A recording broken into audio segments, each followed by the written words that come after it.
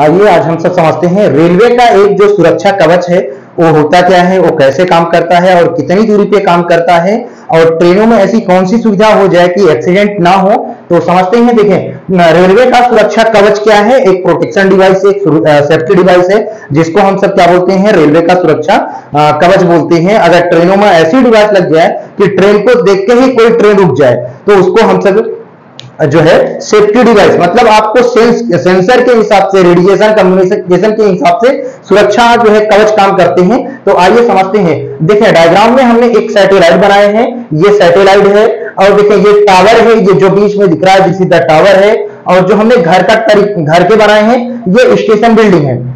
और ये क्या है? ट्रैफ़िक कोलाइजन में एवाइडेंस सिस्टम है एक स्टेशन मतलब ये देखिए, चार डिवाइस चार चीज़ें यहाँ पे हमने इंस्टॉल करके रखी है। एक है सैटेलाइट एक है टावर एक कौन सा है? एक है ट्रैफ़िक ये जो रेड कलर का बनाए हैं ट्रैफ़िक कोलाइजन एवाइडेंस सिस्टम है।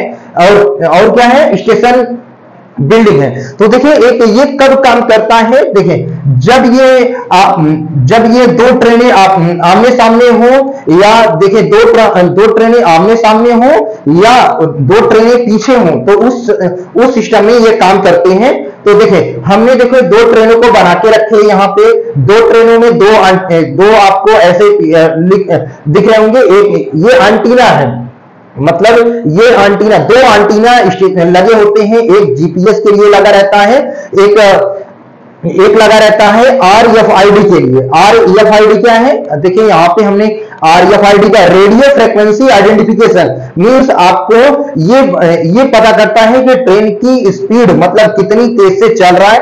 ये R F I D search ये बताता है आपको। देखिए, और कौन सा है? रेडियो एंटीना मतलब जो सैटेलाइट से अटैच होता है, उसका, जो सैटेलाइट जो मैसेज भेजता है, वो कौन देखता है? ये रेडियो एंटीना रेडियो एंटीना क्या करता है? जो जीपीएस से जो भी आ रहे हैं जो भी रेडिएशन आ रहे हैं, जो भी तरंगे आ रही हैं, वो कहाँ पे आ रही हैं? इस ट्रेन के ये वाले जो बने हुए हैं, जो हमने एक एंटीना बनाया है, वो वो वो यही है। तो यहाँ पे देखें, एक ये क्या है? एक ये टावर के लिए बना है, जो कि रेडियो एंटीना है। एक जीपीएस के लिए बना है जीपीएस एंटीना है, एक रेडियो एंटीना दो एंटीने हैं। याद रखेंगे, एक पहला है जीपीएस एंटीना दूसरा कौन है? Radio antenna. तो देखें ये जो जीपीएस है, ये ये जो है मैसेज देता है ट्रेन को कि ये ट्रेन का यहाँ जीपीएस के थ्रू हमको पता है जीपीएस के थ्रू किसी का लोकेशन पता कर सकते हैं। मीन इस ट्रेन का लोकेशन, हम सब ट्रेन में बैठे रहते हैं जीपीएस को ऑन करते हैं तो यही सैटेलाइट हम सबके लोकेशन को बताता है कि हम सब इस ट्रेन पे पहुँचे हुए हैं, जो है यहाँ पे पहुँचे हुए हैं। तो देखें, अब यहाँ क्या करता है, ये जो टावर है, ये क्या करता है, ये रेडियो रेडियो फ्रिक्वेंसी आइडेंटिफिकेशन है। मतलब ये बताता है कि आपका स्पीड इतना है मीन जिस ट्रेन में आप बैठे हैं, उसकी स्पीड इतनी है। जिस, जैसे आप आपके, आप उस ट्रेन बैठे जिसकी स्पीड 180 से एक 120 130 समथिंग ऐसे हैं तो आप इससे पता करेंगे आर एफ़ आई डी देखो आर एफ़ आई डी कहाँ लगे रहते हैं? ट्रैकों में लगे रहते हैं। ट्रैक किसको बोलते हैं? जिसपे ट्रेनें चलती रहती हैं, उसको हम जब ट्रैक बोलते हैं। तो देखिए आर एफ़ आई डी दो जगह लगे रहते हैं। आर एफ़ आई डी दो जगह, पहला तो ट्रैक में लगा रहता है, दूसरा कहाँ लगा रहता है? इस ट्रेन में लगे रहते हैं। तो इस तरीके से याद रखेंगे कि दो जगह लगे रहते हैं। एक ट्रेन में, कभी कभी आप एग्ज़ाम में पूछ लेता है, बताओ, ये रेलवे सुरक्षा कवच में आर एफ़ आई डी कहाँ पे लगे रहते हैं? तो याद रखेंगे, दो जगह पे, कहाँ कहाँ पे? पहला ट्रेन में, दूसरा कहाँ पे लगे रहते हैं? ट्रैक पे।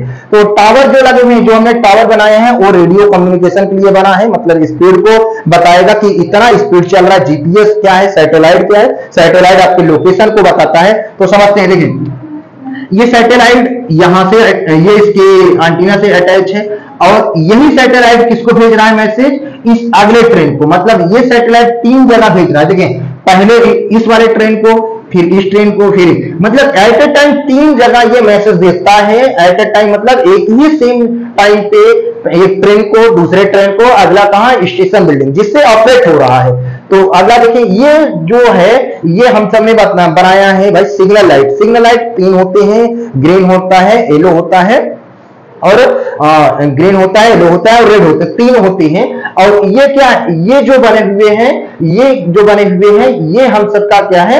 ये हम सबका याद रखेंगे। ये जो है आ, ये यही है जिसमें हम सबने क्या लगा के रखे हैं? R F I D radio frequency identification तो देखें तो ये जीपीएस जो है पहले ट्रेन को भेज रहा है दूसरे ट्रेन को भेज रहा है तीसरे। मतलब तीसरा प्लेस क्या है? स्टेशन बिल्डिंग और ये टावर किसको किसको भेज रहा है? टावर जो है इस ट्रेन को भेज रहा है अगले ट्रेन को भेज रहा है। और जो है, इस ट्रैफ़िक कोलाइजन सिस्टम को जो भेज रहा है, वो तीन, ये भी तीन तीन जगह काम कर रहा है। ये जो टावर है, जो रेडियो कम्युनिकेशन जो टावर है रेडियो कम्युनिकेशन के लिए, वो तीन जगह ये भी मैसेज भेज रहा है।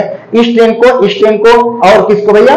ट्रैफ़िक कोलाइजन एवॉइडेंस सिस्टम को जो स्टेशन बना है तो उसको ये बताता है कि कौन सा ट्रैफ़िक ज़्यादा क्या है, इसके बीच में कितने स्पेस हैं, ये सब बताता है कौन सा, ये टावर और इस जो लोकेशन कौन बताता है? जीपीएस इनके बीच का जो गैप बताता है, वो एक टावर है जिसको हम सब रेडियो कम्युनिकेशन टावर के नाम से जानते हैं। तो देखें, यहाँ पे देखें, इस सिस्टम इस ट्रेन में लगे हुए हैं ऑपरेशन कम इंडिकेशन पैनल मतलब उसको क्या करता है, जो वहाँ पे लोगो पायलट होता है, उसको वो सिस्टम भेजता रहता है कि आपका स्पीड इतना है, आगे वाले, आने वाले स्टेशन है और ट्रैफ़िक लाइट है, जिसको हम सब सिग्नल लाइट बोलते हैं।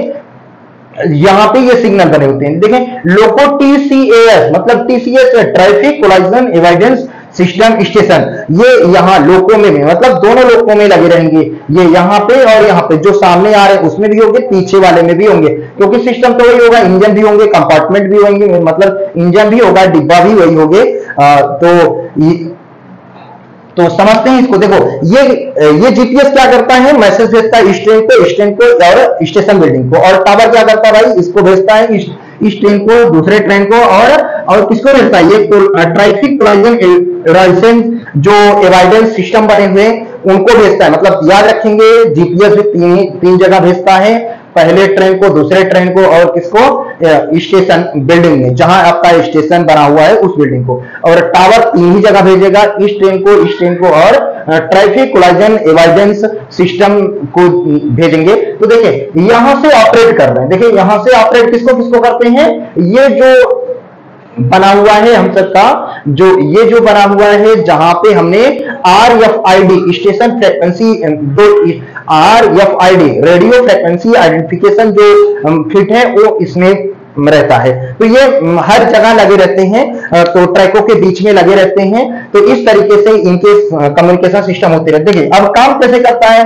जीपीएस मैसेज भेज रहा जीपीएस जो है मैसेज भेज रहा है ट्रेनों को कि आपका लोकेशन यहाँ है स्टेशन वाला उस लोकेशन को समझता है और टावर क्या करता है उस स्पीड को बताता रहता है कि आपका स्पीड यहाँ देखे अब ये काम कैसे करता है? ये क्या है? जैसे ही आपके अगर बीच का गैप जैसे ही आप यहाँ, आप, पहला तो क्या है? ट्रैफ़िक लाइट जो हम सब सिग्नल लाइट अगर आप जो है सिग्नल लाइट के पास पहुँचने वाले हो तो ये सिस्टम क्या करता है?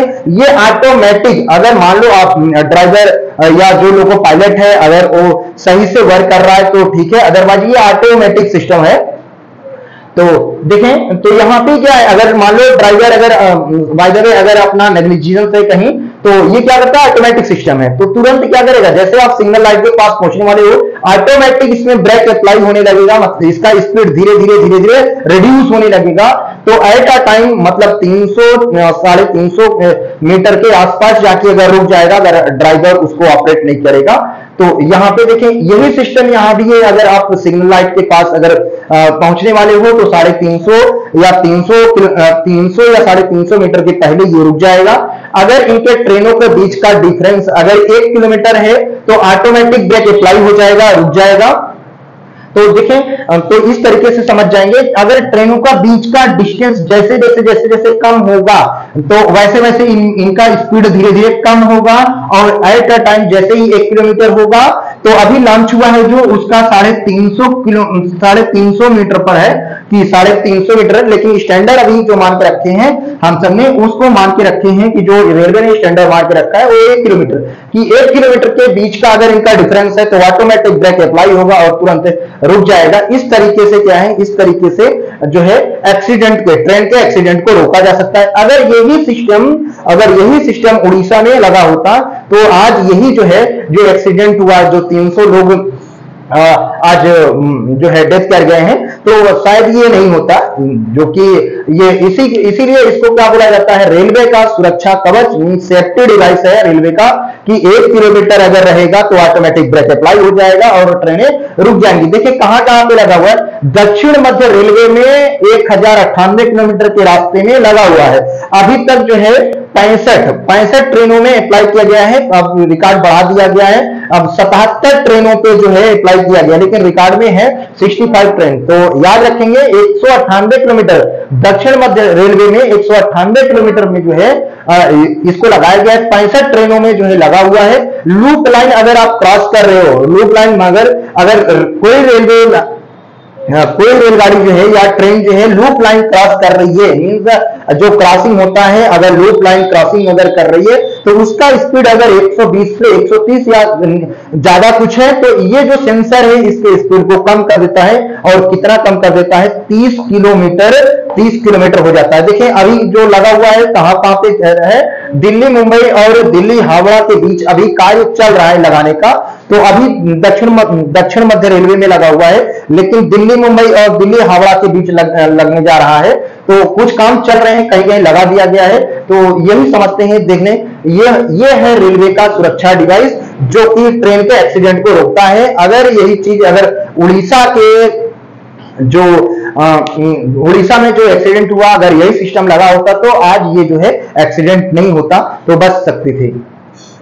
तो याद रखेंगे, इसका जो है, इसकी शुरुआत जो है 14 अप्रैल 1997 में हुआ था, जो कि 14 अप्रैल 1997 में तीन टेंडर मिलके हुए थे आर एस डी ओ तीन टेंडर मिलके हुए थे तो अब जबकि इसका देखें 14 अप्रैल को 14 अप्रैल 1997 में स्टार्ट हुआ था, जबकि दो दो जनवरी 2000 जो है 2002 में इसका ट्रायल हो गया था तो अभी भी जो है लगाने का बात चल रहा है।